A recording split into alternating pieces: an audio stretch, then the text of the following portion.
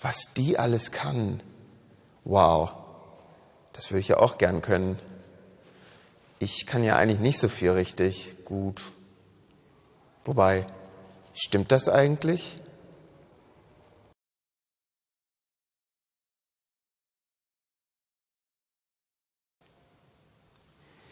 Es gibt so viele verschiedene Menschen auf der Erde und die haben alle unterschiedliche Begabungen. Ja, richtig, alle. Jeder Mensch ist auf besondere Weise begabt. Jeder Mensch hat etwas Besonderes von Gott geschenkt bekommen. Auch ich. Aber ich gebe zu, das ist manchmal gar nicht so leicht zu spüren. Oder es ist gar nicht leicht, dass ich für mich selbst anerkenne, was ich alles kann. Ganz schön oft sehe ich bei anderen Menschen, was die alles gut können. Und ich denke mir, wow, das kriege ich ja nie so gut hin wie die. Ich habe mich vor ein paar Monaten mit meinem Cousin ausgetauscht. Er macht bald seinen Schulabschluss, ist also deutlich jünger als ich, und er hat für sich schon den Beruf im Blick, auf den er Lust hat. Und er weiß, dass ihm dieser Beruf Spaß machen wird und dass er deshalb auch gut in diesem Beruf sein wird.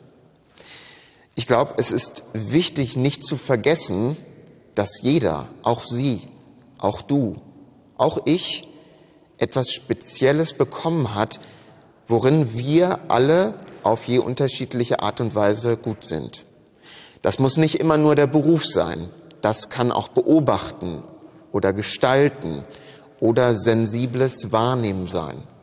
Ich finde, dass das auch eine sehr wichtige Nachricht für junge Menschen ist. Ich habe da die Konfis oder die Jugendlichen vor Augen. Du bist begabt, du kannst so viel. Versuche ohne Druck herauszufinden, was deine Begabung ist und bleib dem dann auf der Spur. Das betrifft ja nicht nur junge Menschen, sondern das betrifft auch Menschen in jedem Alter. In der Bibel schreibt Paulus an eine Gemeinde in Rom. Da muss es auch viele verschiedene Menschen mit ganz unterschiedlichen Begabungen gegeben haben. Denn Paulus schreibt, es ist wie bei unseren Körperteilen, die einen einzigen Leib bilden und von denen doch jeder seine besondere Aufgabe hat. Genauso sind wir alle, wie viele wir auch sein mögen, durch unsere Verbindung mit Christus ein Leib und wie die Glieder unseres Körpers sind wir einer auf den anderen angewiesen. Denn die Gaben, die Gott uns in seiner Gnade geschenkt hat, sind verschieden.